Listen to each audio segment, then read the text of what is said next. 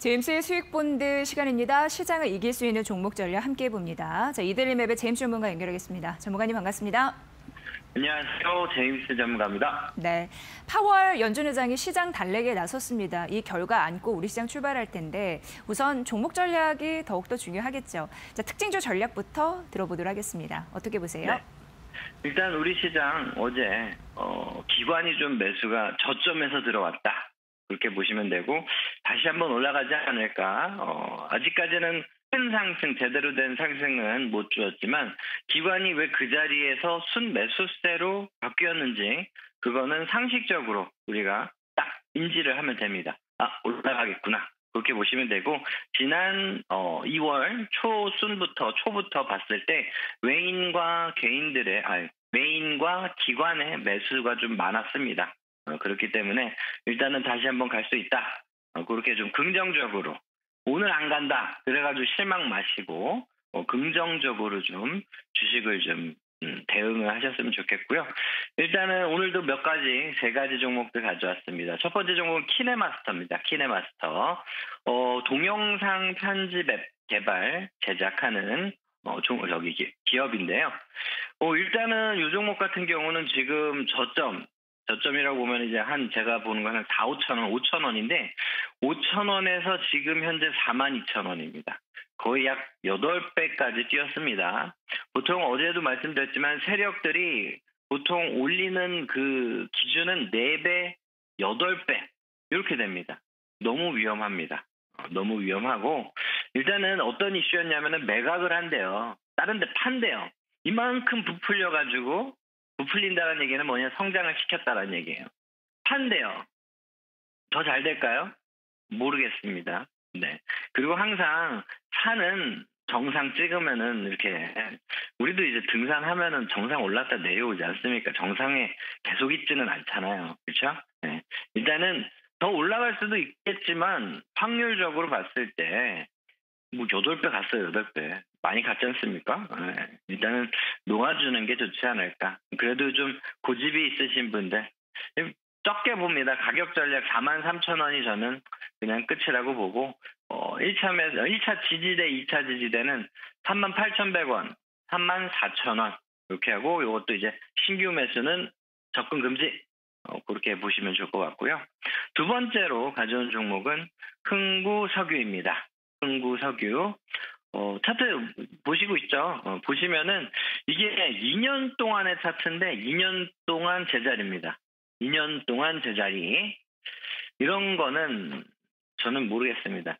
단기적으로 겨울에 차트 보시면은 겨울에 살짝 이렇게 겨울에 이렇게 반등이 나옵니다. 네. 지난 이번 겨울에는 모르겠어요.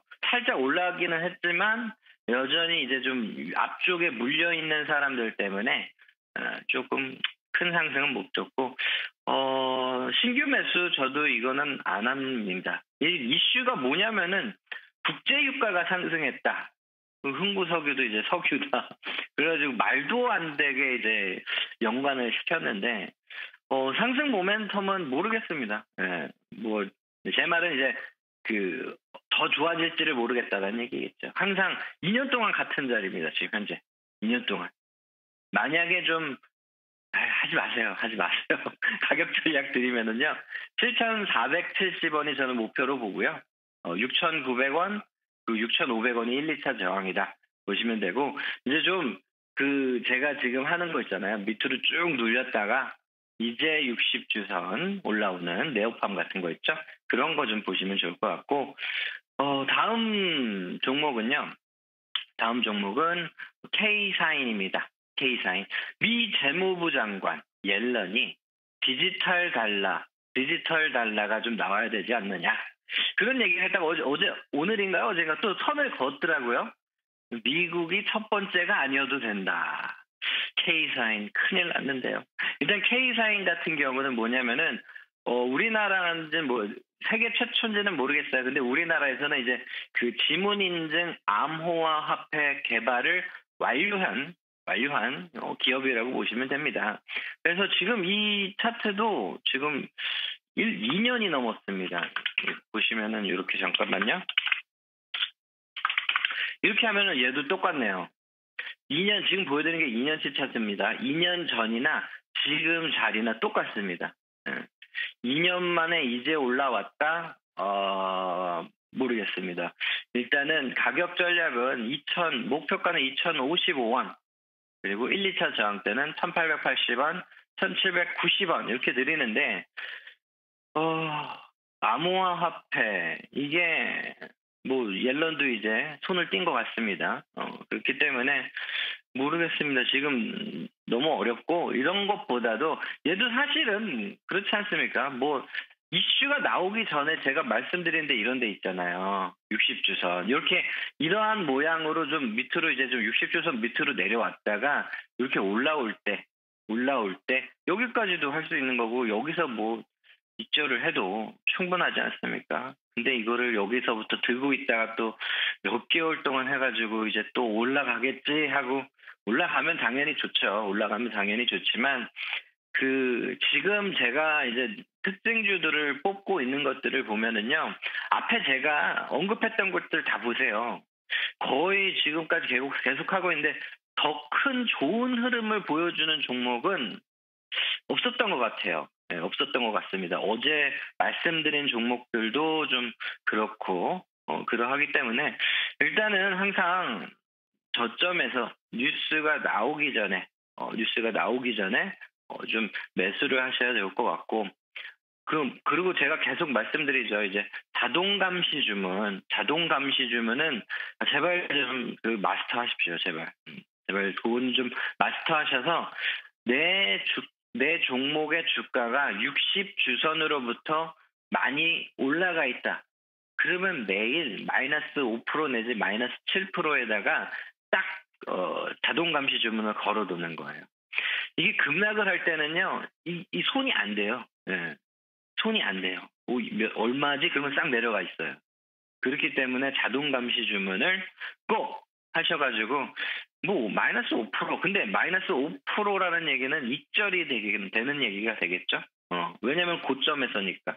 근데 뭐 손실 중에서도 그냥 마이너스 5%로 그냥 하시고 다른 걸로 또 하시는 그런 전략이 정말로 지금 같은 투자자분들 좀 필요하십니다. 또 일단 또 사담이지만 제발 이 돈이 들어가는 적입니다. 상담을 했는데 도, 돈을 잃고 계신데도 막 웃음이 나오시나 봐요. 저는 그건 좀 아니라고 봐요. 예. 뭐돈 많으시면 그럴 수도 있지만 그거는 아닙니다. 예. 돈을 잃고 있는 거는 진짜 반성 좀 하셔야 될 것 같습니다. 일단은 어, 여기까지 어, 세 가지 특징주 전략 드렸습니다. 네, 바로 이어서 네오팜 관심주 전략도 이어주시죠. 네, 네오팜 아 어제 좀 올라오나 싶었는데 일단은 네. 제가 그었던 이제 2차 지지선, 2차 지, 아, 1차 지지선이 되겠죠.